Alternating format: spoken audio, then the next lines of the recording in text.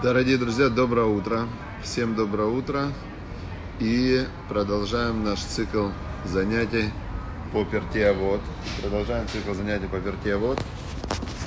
Снова в походных условиях. Походные условия. Сука. Сегодня сука э, Равина Вольфа. Это Одесса. Вот такая это, это только час сутит. Сука огромная вообще здесь, да, еще там за углом, за углом вообще огромная, огромный шалаш такой, не знаю, сколько тут людей. Просто в Одессе какая-то гигантомания. Знаете, кто что развивает, в Одессе огромные шалаши. Огромные шалаши, много людей празднуют Суккот, прекрасная погода. И мы продолжаем изучать Пертиавод, потому что праздники приходят и уходят. И события в жизни меняются, постоянно меняются события, меняются, они меняются, да, всем шалом. И э, как бы внешняя картинка, внешние события, они все время меняются. И должно быть в жизни что-то постоянное, какой-то стержень, на который э, оно все наматывается. И изучение Торы, ежедневное изучение Торы, это, я считаю, лучший стержень, на который можно дальше накручивать всю всю виртуальную реальность своей жизни. Потому что, в принципе, жизнь человека – это виртуальная реальность. Он э, что-то планирует, он что-то вспоминает, у него есть какие-то идеи о себе, о жизни, он оценивает постоянно свое состояние и окружающий мир. То есть каждый человек живет в некой виртуальной реальности своих мыслей. Если в каждый день впускать в себя вот этот вот поток Торы – поток Торы, да, это именно мысли Бога. Тора это мысли Бога. То вот этот вот чистый такой, как ручей, да, он будет заходить в мышление и будет в мышлении создавать тот позитивный заряд, позитивный заряд э, такого, ну, божественного света и духовности. Потому что, в принципе, человек, он как устроен? Он или размышляет о том, что у него внутри, или он следит вниманием за тем, что снаружи. А, то есть внимание, постоянно мысль, она или должна зацепиться за что-то, что снаружи, там человек читает книжку, он в книжке, человек э, смотрит фильм, он в фильме, человек смотрит, э, с кем-то разговаривает, он в разговоре. То есть внимание или снаружи, или если ты в этот момент находишься один, то у тебя идет внутри Э, разговор, внутренний разговор, размышления о себе, о жизни, что делать, о планах, о, о, о том, что происходило с тобой. То есть каждый человек, он живет в мире своих мыслей. И, значит, э, Тора, если ты впускаешь себе каждый день как бы кусочек вот этой вот мысли Торы, то оно тебе дает внутри, дает тебе набор идей, которые работают. Работают, прежде всего, Тора работает для духовного роста, для того, чтобы приблизиться к Богу и духовно вырасти. Второе, Тора работает и для жизненных событий. Вот сегодня у нас Мишна очень жизненная. Одиннадцатая Мишна, мы выучили в прошлый раз четыре типажа есть людей, четыре типажа есть людей. А в одиннадцатой Мишне нам сообщает э, трактат Пертиавод, устная Тора, что есть четыре качеств БДОТ. ДОТ это а, смотрите, в, каждый человек живет в картине мира, вот эта общая картина мира называется даат, то есть восприятие. Есть э, восприятие, вот общая как бы картинка, вот то, что человек воспринимает и то, с чем он взаимодействует, это называется дат, восприятие. Теперь есть четыре типа в восприятии, так, так правильно все будет перевести. Четыре типажа есть восприятие. И, значит, что за четыре типажа? Первый типаж такой, ноах лекосвы, ноах лерацот. Первый типаж, он, э, он, нох, это, он спок- свободно, так легко, он гневается, и также легко он успокаивается. Значит, э, давайте разберемся, что это значит. В, что такое вообще гнев? Что такое человек легко гневается? Само понятие гнев, само вот это вот качество гнев, да, гнев бывает э, очень разных форм. Бывает, например, скрытый гнев, э, который называют словом раздражение. Вот если человек раздражен, у него, э, ему что-то не нравится, это уже легкий гнев, гнев такой легчайший. Если он сильно злится на что-то, то это гнев уже более проявленный. Если он, если он прямо гневается, гневается, это уже Бывает, человек прямо орет, бывает в гневе человек убивает кого-то, не дай бог, и так далее. То есть, э, Это все называется качество гнев. Откуда берется этот гнев? Тора очень против гнева. Говорится, что тот, кто гневается в сердце своем, тот, кто держит гнев в сердце, внутри себя, он гневается, да, так он, значит, как будто бы служит идолам. Представьте, то есть это приравнивается к идолопоклонству. Ну, если там глубоко копнуть, то какому идолу он служит? Смотрите, что такое гнев? Гнев это, это несогласие с тем, что происходит. Когда нарушается правило человека, он гневается. То есть человек себе устанавливает какие-то правила, должно быть так, должно быть так, должно быть так, должно быть так. И потом эти правила нарушаются, и он, если чуть-чуть нарушается, он расстраивается. Если сильно нарушается, он гневается. То есть это качество гнева.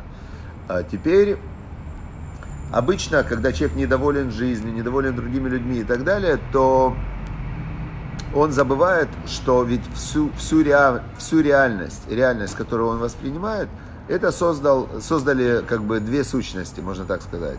То есть э, первое, это создал он своими действиями, мыслями, ожиданиями, решениями вчерашнего дня.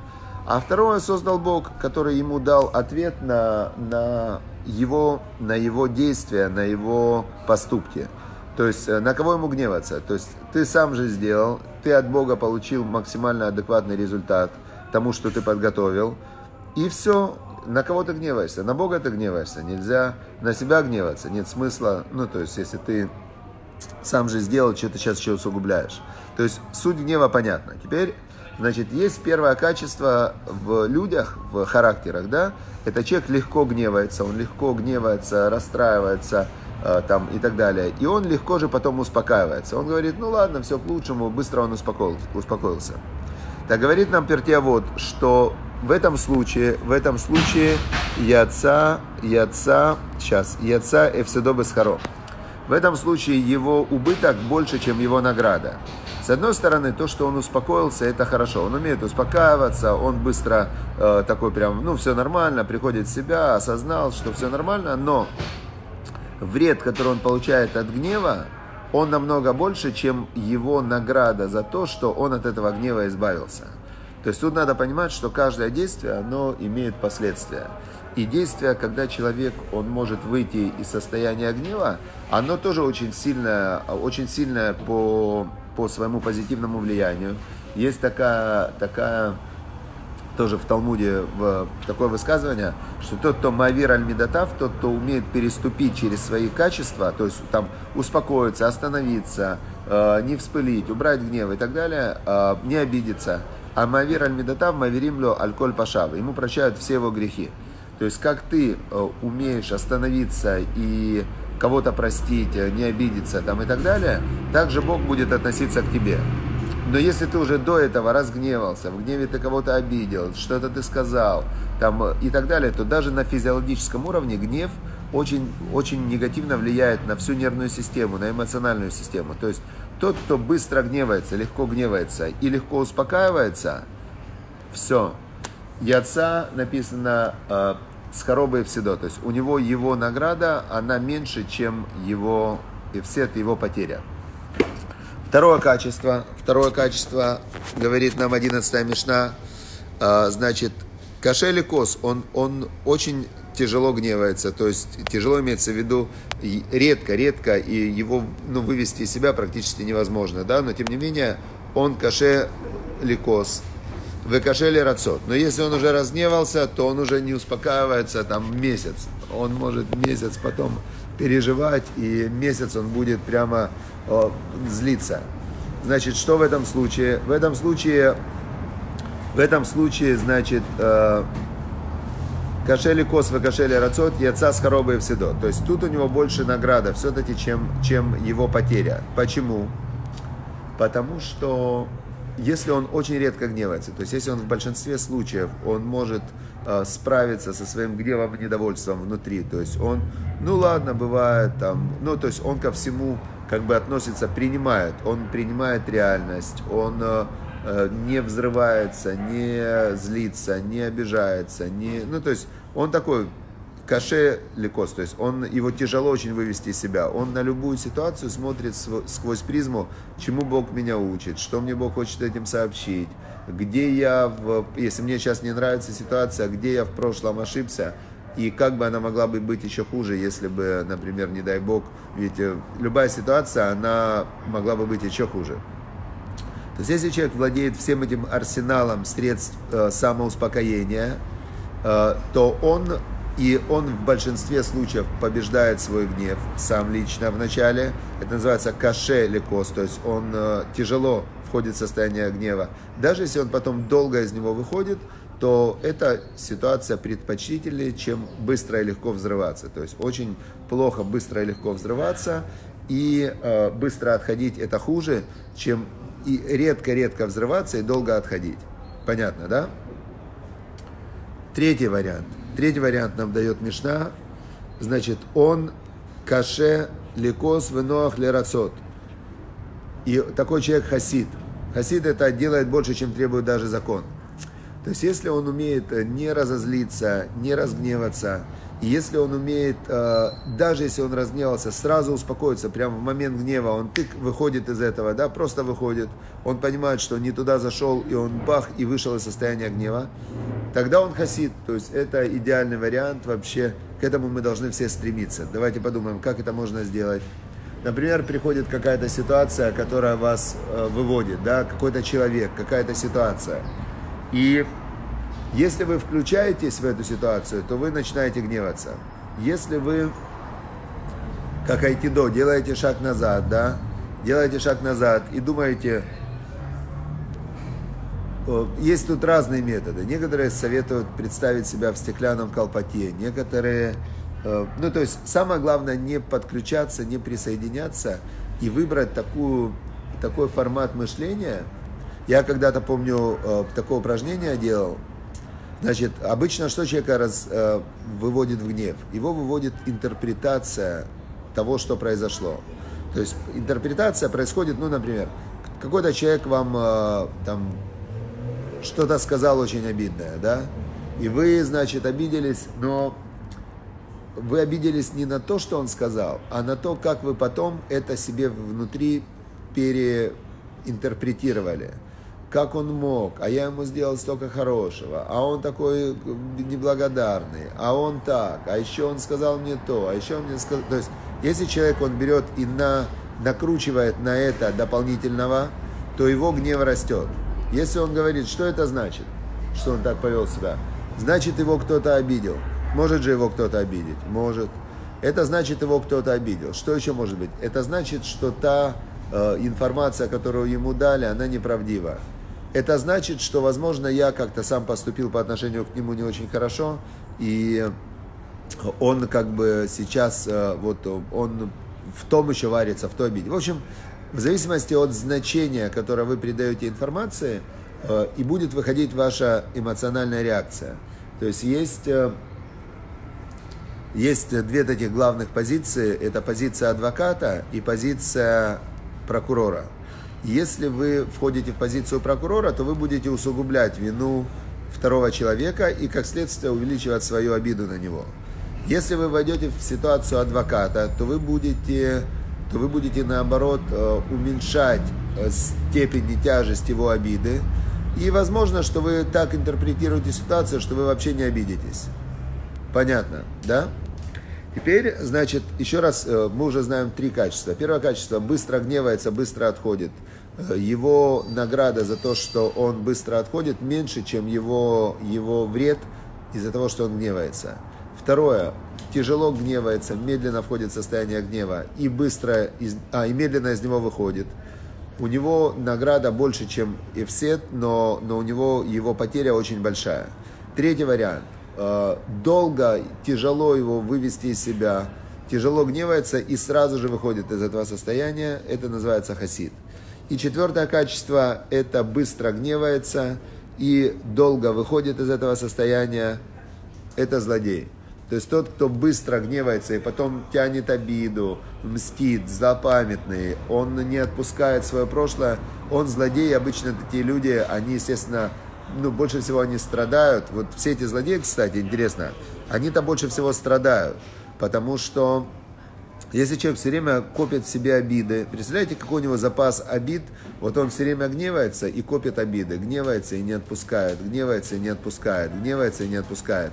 И у него внутри накапливается такой мешок такого прямо гнойного, такого, э, как сказать, э, вот, вот эти все, я слышал, что маньяки там разные и так далее, у них внутри вот дикая боль они все время, вот их когда говорят, как ты мог вообще все эти делать, ну, ужасы, да, там, убивать людей, мучать и так далее, они говорят, что у меня внутри просто боль такая, которая не утихает, постоянная боль, которая, ну вот, и из-за этой боли я делаю вот эти штуки. То есть они, как бы злодеи, они мучаются очень сильно, и быть, конечно, злодеем это плохо, невыгодно и неправильно. Поэтому какой путь у нас, чтобы не быть злодеями? Это тяжело входить в состояние гнева, то есть лучше в него вообще не входить, и легко, быстро сразу из него выходить. То есть и мне нравится, был такой метод э, Хазе Сильва, метод управления подсознанием.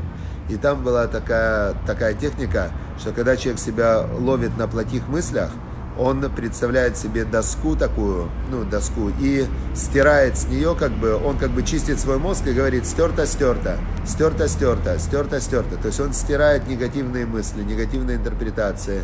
И он э, прямо постоянно как бы только себя поймал на какой-то плохой мысли, обида, какое-то раздражение и так далее, ты э, просто стерто. И вот эта вот плохая мысль, она стирается.